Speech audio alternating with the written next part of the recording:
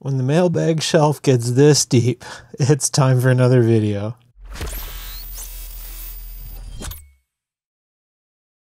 Alrighty, well, these are the electronics components that I use in my projects, and I like sharing these videos with you guys, so let's get into it.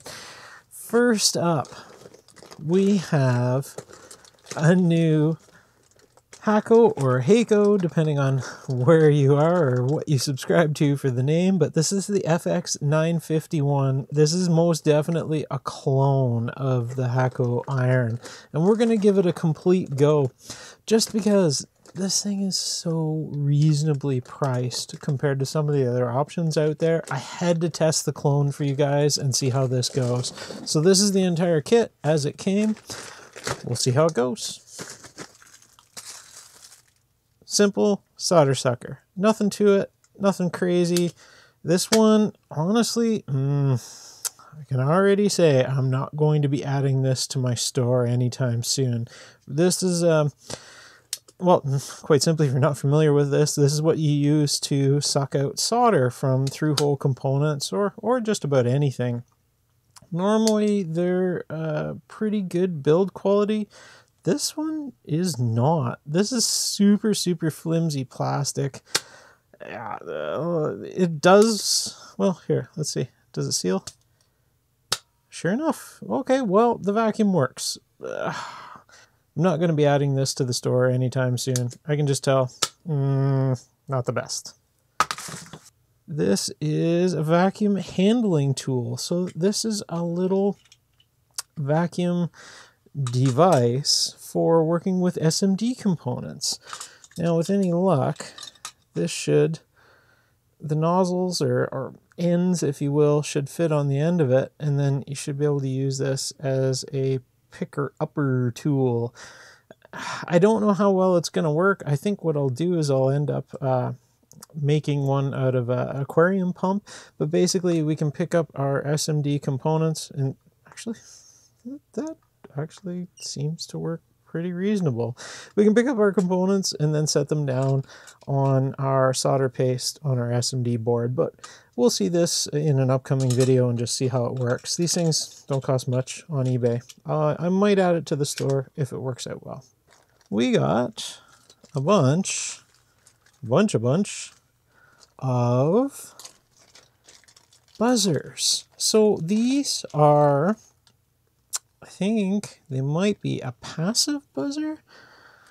Looks like we have a resistor and a transistor on board for we have VCC ground and signal. So this looks like we're going to be able to pulse width modulate a signal into this buzzer and be able to make it warble at whatever tone we want. Being that it comes on the breakout is big um, kind of annoyingly big. They could have done a lot smaller but it will work as a standalone that you don't have to mess around with your current limiting resistor and the driver transistor uh, in any circuit. You can just plug it and play. And then it comes with the jumpers, so yeah, that's pretty cool. Why not? Next up out of the box, we got a whole bunch of switches. These are really handy in just about any Arduino project or electronics project. These are what's known as a tactile switch. Uh, really small, little tiny. They are breadboard friendly. Any circuit that I build with a, a PCB and a dedicated circuit, it's good to include uh, some tactile switches and just use them even on the unused I.O. of your microcontroller. They might come in handy someday when you want to expand the circuit and add some user input. And here's a hundred of them, cost virtually nothing, and these are already on my store. Linked below. Random part of the day. Look at this. This is a prism. I haven't seen one of these since high school or maybe even public school. I actually have no idea what we're going to do with this. It was a very much impulse buy. If you guys have ever done anything with prisms in projects or or even some experiments and play around with the kids or whatever, let me know down in the comments below. I I don't know what we're going to do with this, but it's quite a large one. This is a, a significant length. Next up, a whole bunch of these we got? Oh, yes, yes, yes. I have been waiting for these. These should be very handy. These are breadboard connections. Do I have one open? Nope, I don't. Let's get one of these out. These are a breadboard power supply. So these will plug right in on the end of our breadboard. Let me go find one. So if you have a simple breadboard project like this, we can plug right onto the power rails, in theory, if it works, and sure enough it does.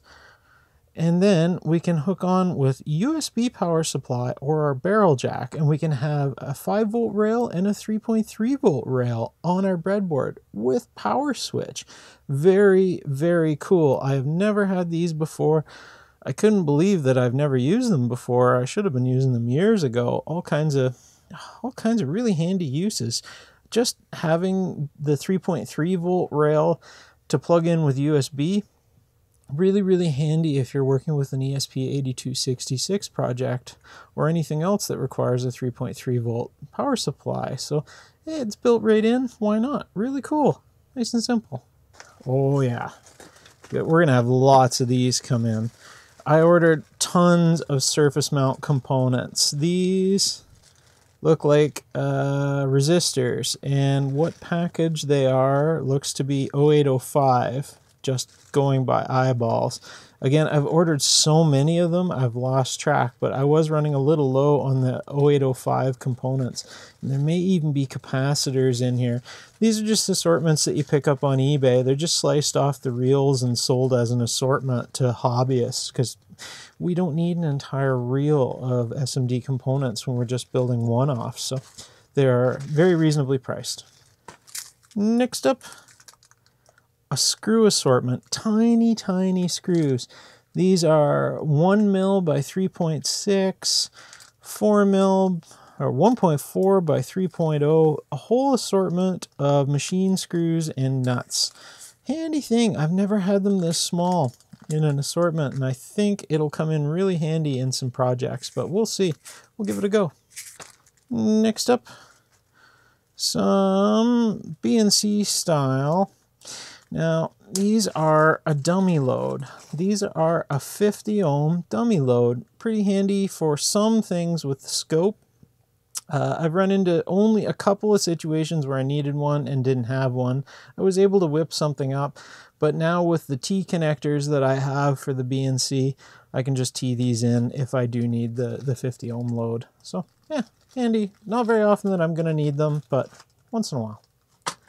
Another vacuum pickup tool for SMD components. This is much similar to the one we just looked at. It has some kind of rubber feet for it and a little vacuum pen. We're going to give it a try on the 0805 and 0603 components, see how it works. I have no idea how well it's going to work, to be honest, but uh, they market it as a vacuum sucking pen. Again, uh, it was just an eBay special. You guys can check out my my video. I'll link it down below how I buy this stuff on eBay. I'm not going to link stuff like this. I'm not going to add it to my store until I've truly used it for a while. And I'm certainly not going to add it to my Amazon page, which is also linked below, where I have my recommended gear again till I use it for a long time. So we'll try it. I don't hold out a lot of hope, but it's only a couple of bucks. So that's the model number you can find it under. Next up, more soldering handy stuff. These are a bunch of tips for flux syringes or for uh, solder paste dispensing. I had quite a few for my flux syringes, but I didn't have one, a good one, a small one for my solder paste syringe. So again, a couple of bucks and you got a huge assortment of all the different uh, needle ends to go on a syringe. Handy dandy. I'm going to split this right here, guys. Good luck in all your electronics ventures. Click a thumbs up down below if you like these mailbags. I have tons more coming to you as you saw on the shelf. Let's pick this up again next week. Have a great weekend. Cheers.